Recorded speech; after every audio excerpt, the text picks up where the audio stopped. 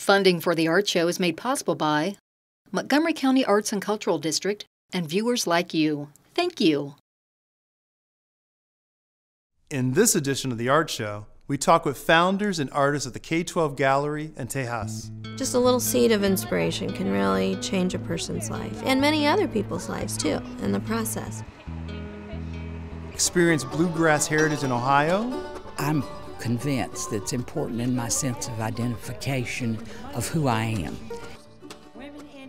And see Roman ruins come to life.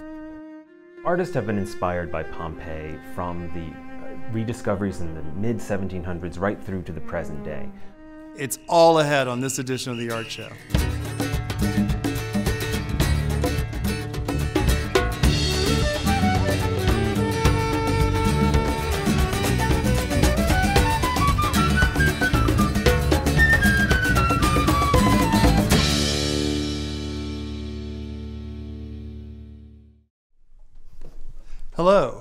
I'm Rodney Veal, and this is The Art Show.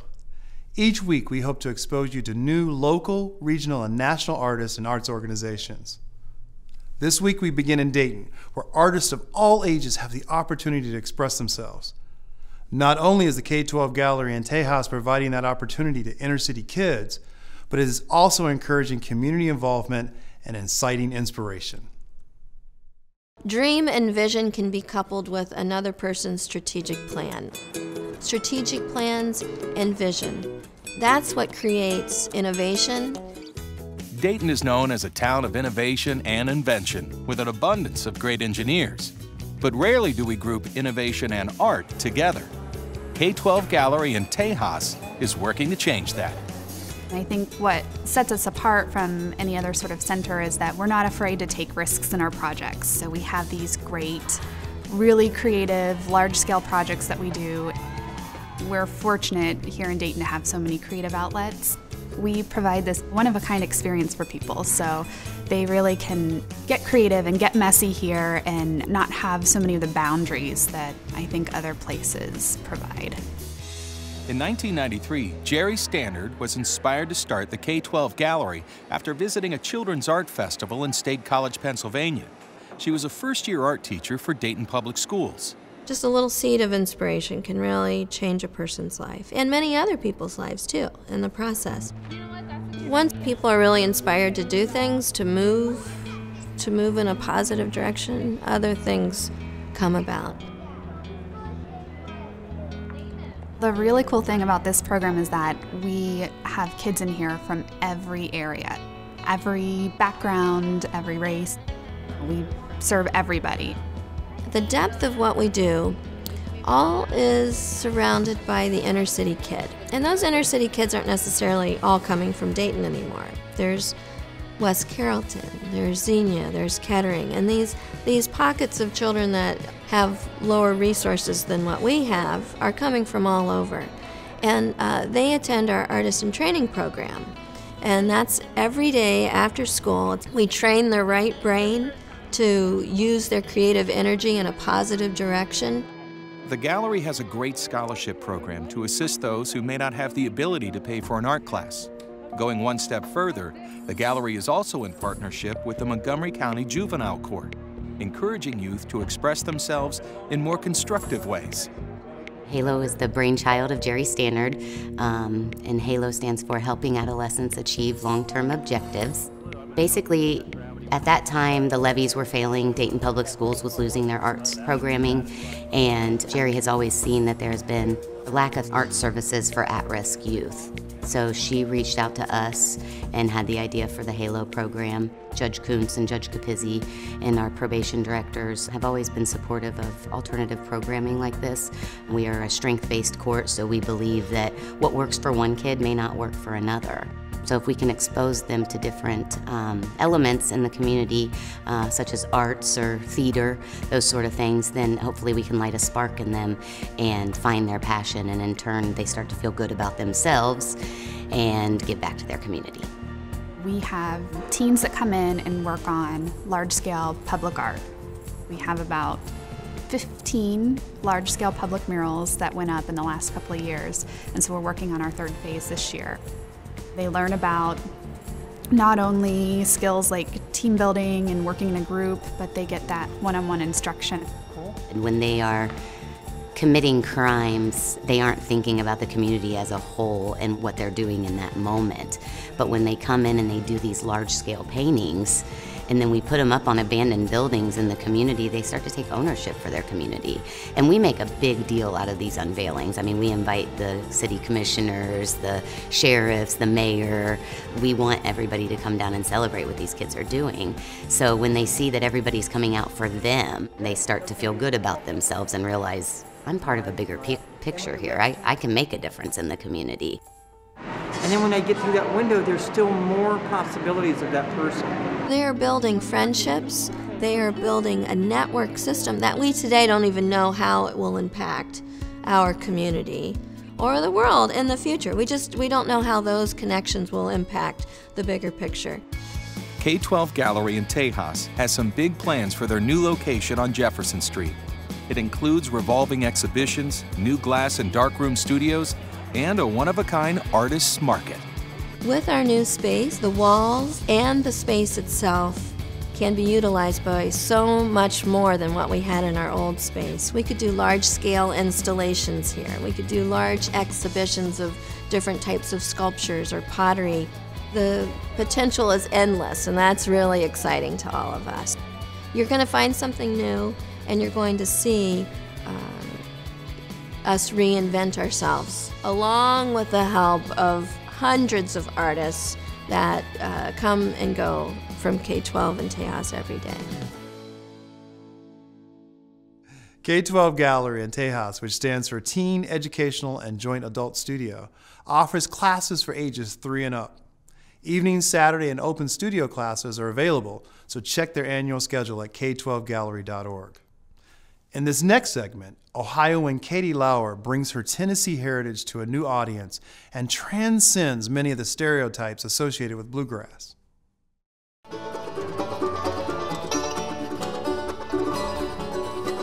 When you go down to deep Ellum, keep your money in your shoes. Women in deep Ellum got the deep Ellum blues. Oh, sweet mama, that's got them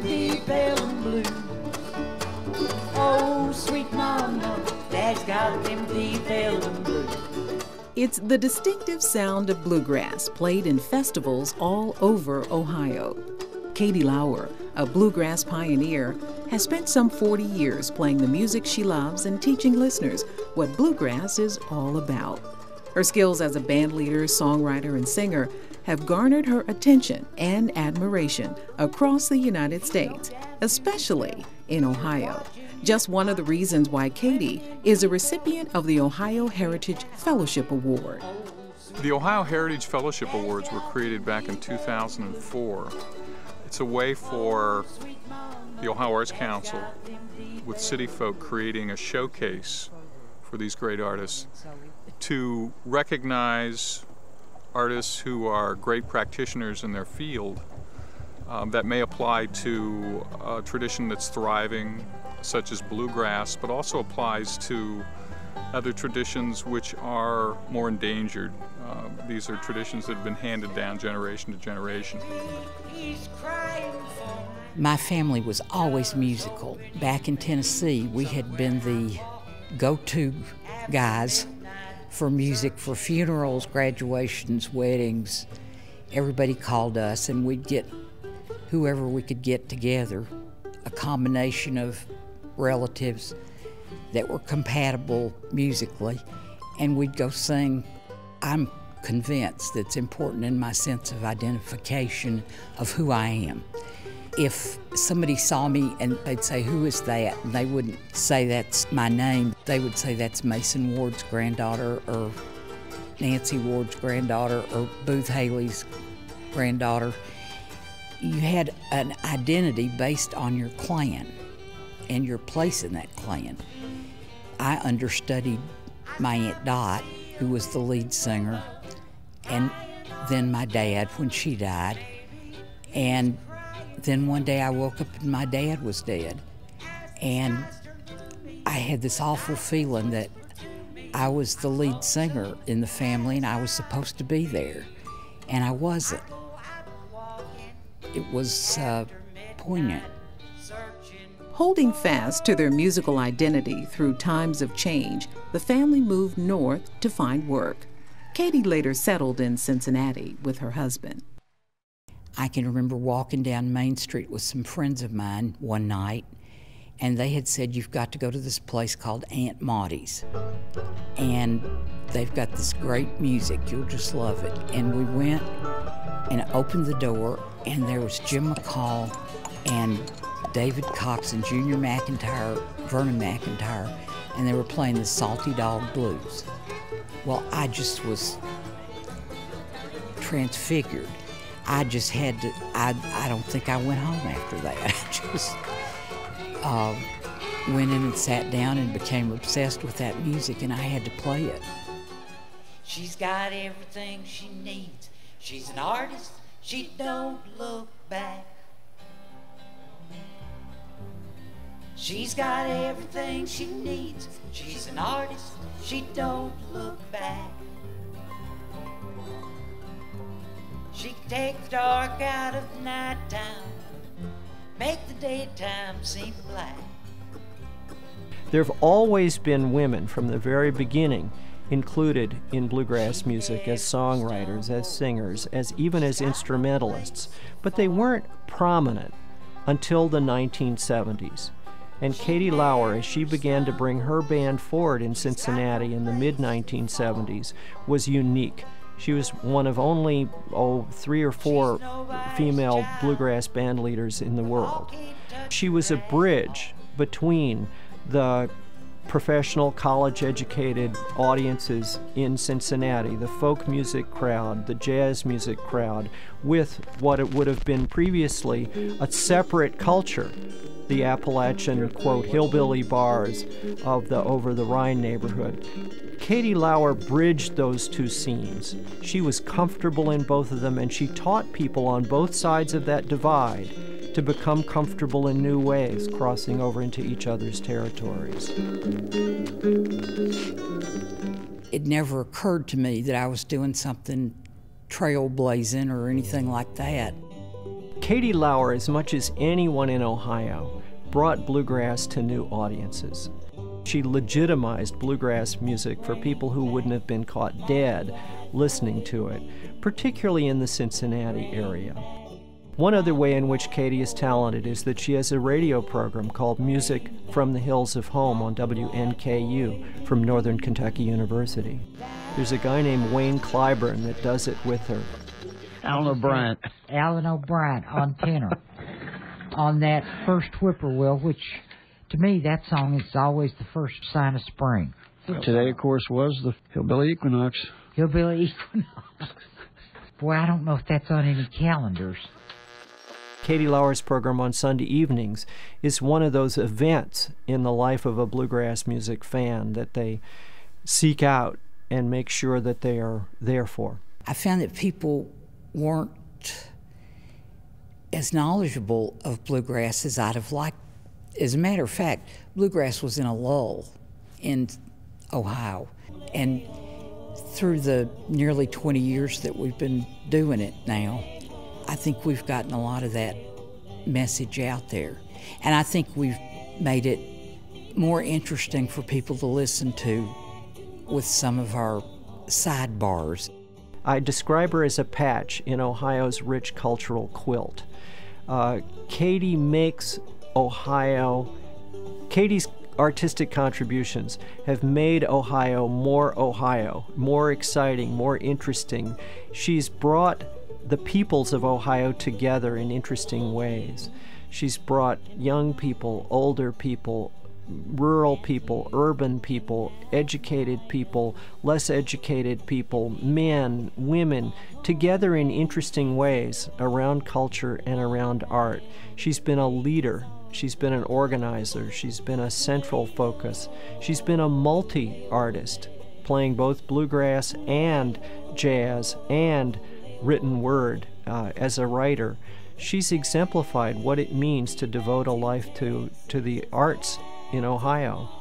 I do think we need to be educated because we have dumbed down our music until it's two chords and there's no virtuosity, there's no learning, there's no spending years learning an instrument, which is not only an important discipline, but it is important. It's important for your soul. While City Folk disbanded at the close of 2013, there are still opportunities locally to catch some bluegrass tunes. Log on to centralohiobluegrass.com or villageofclifton.com and click the Clifton Opera House for concert dates. Are you an artist or know an artist with an interesting story? Pitch it to us. Send an email to the art show at thinktv.org. Include contact information and links to performances or art samples online. In this last segment, we walk through the Pompeii exhibit at the Cleveland Art Museum in Ohio. The ancient artifacts that have been uncovered from the eruption of Mount Vesuvius in 79 AD continue to be a source of inspiration for artists.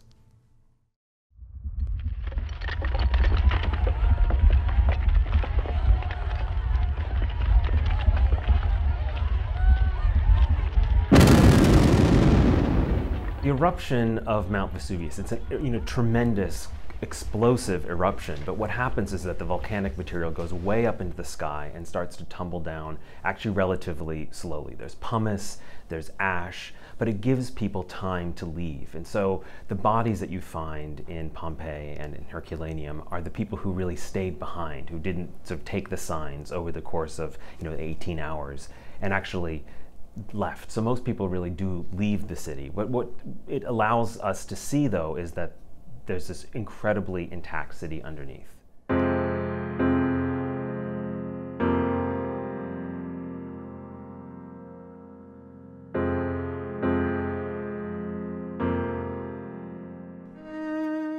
Artists have been inspired by Pompeii from the rediscoveries in the mid 1700s right through to the present day. But those really have changed over time. I mean, the way that artists have depicted Pompeii hasn't been the same. It really reflects contemporary interests that change enormously over time. And so one of the earlier paintings in the exhibition from the late 1700s by an artist, German artist named Hackert. I mean, Hackert shows the excavations of Pompeii, and it's really a landscape painting in the tradition of lands European landscape painting that happens to show this excavation site in the middle of the landscapes.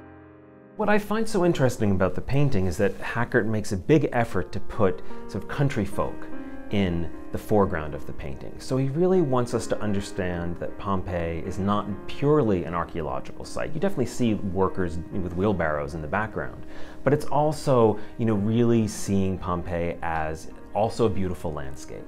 And that's whether that's true or not, I think is almost beside the point. But I think for Hackert's audience and for the British lord who ultimately owned this painting, it was as much about a beautiful postcard of the Bay of Naples as well as a document of the excavations as they stood in the late 1790s.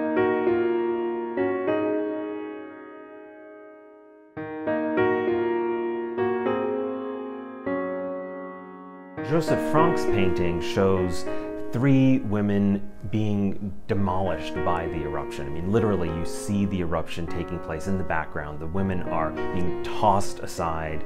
Everything is chaos. The bodies are pulled right to the front of the picture plane. So, unlike the painting by Hackert, which is all about this kind of rational scientific archaeology, Franque is interested in the drama, in the destruction, in the real soap opera of the disaster itself. Franque's an artist who, his painting is based on some archaeological evidence. There was some jewelry that was found and some bones were found nearby. And so Franque then spins this invented story about how there were these three women who just happened to be, you know, entirely naked, who are being tossed aside, um, leave, but you know, seem to have like been clutching their jewelry right before um, they were escaping, trying to escape Pompeii, but an escape that of course turns out to be entirely futile. So Netti's painting showing the aftermath of the gladiator battle is on the one hand, extremely accurate archaeologically. I mean, the building that they're in is a known archaeological site. It was actually recently excavated just before Netti made his painting.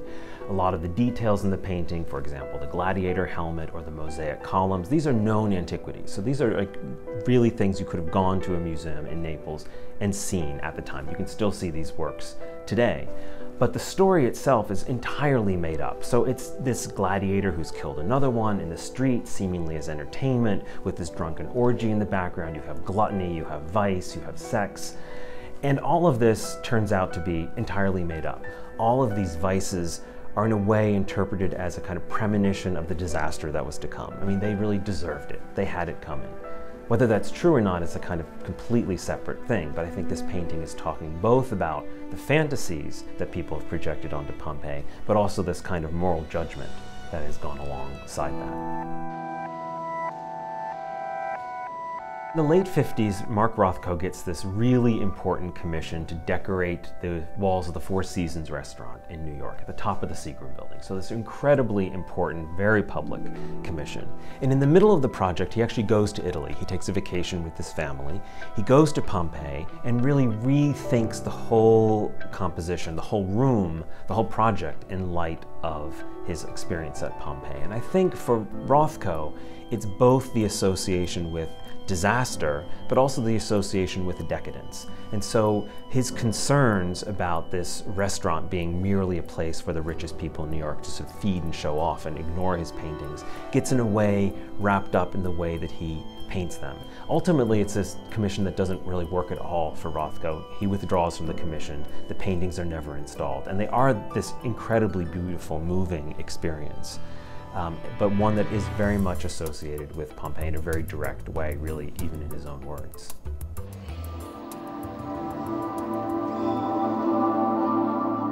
Warhol, I think, really gets interested in this idea of complete and total apocalypse. I think it's something he's thinking about both in terms of the recent earthquake in 1980 in the Bay of Naples. I think he's also looking back and thinking about things like atomic disaster, and I think he's very much thinking of very contemporary cataclysms. In the case of the mid 80s, we're talking about the AIDS crisis.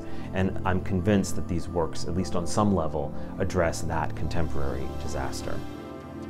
The thing about this exhibition is that, on the one hand, we could have just shown paintings of Mount Vesuvius and the erupting volcano and the very straightforward representations of the city. But Pompeii really goes into artists' minds in a much deeper and more complicated way. And so there are abstract artists who are deeply affected by their experiences of Pompeii and their thoughts about the ancient city. And so a lot of the works in the exhibition aren't necessarily kind of literal depictions of Pompeii, but really artistic imaginings of Pompeii. I mean, it's really about the way that Pompeii has sunk into the modern and the contemporary imagination over several hundred years.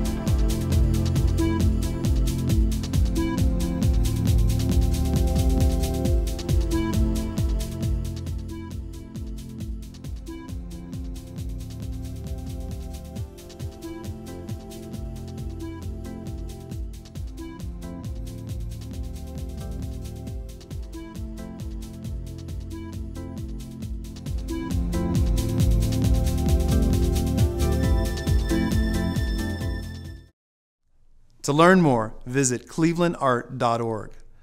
And if this has piqued your interest in how artists interpret history, visit the Dayton Art Institute and ask about what is a masterpiece. This interactive tour of the permanent collection uses QR codes and mobile technology to provide an in-depth information about select works in the collection. Have you ever stood in front of a work of art and wanted to understand it better? The Dayton Art Institute is using mobile technology to give visitors a new way to see its treasures at their own pace. Either use your own mobile device using the museum's free Wi Fi or check out an iPad from the visitor service desk. To join the conversation or learn more about a work, simply tap the icon and point the camera at the QR code. QR stands for Quick Response. You can also choose to browse works by department. We invite you to be curious. The artworks in What is a Masterpiece are scattered all throughout the museum's collections, so try exploring an area of world art that is unfamiliar to you. Everything you need to create a profound experience with the permanent collection of DAI is now at your fingertips. Don't expect to take a back seat with what is a masterpiece. For every artwork on this tour, you can tell the museum, as well as other visitors, what you think about it and what the idea of masterpiece means to you. Throughout your visit, participate in polls and share your thoughts and opinions on any masterpiece in the program. Now the museum is in your hands. Log on to the Wi Fi, scan a QR code, and open up a world of discovery. And that wraps it up for this edition of the Art Show. Remember, your town has a very active arts community, so get out there and support it. I certainly do. Until next time, I'm Rodney Veal, and thanks for watching.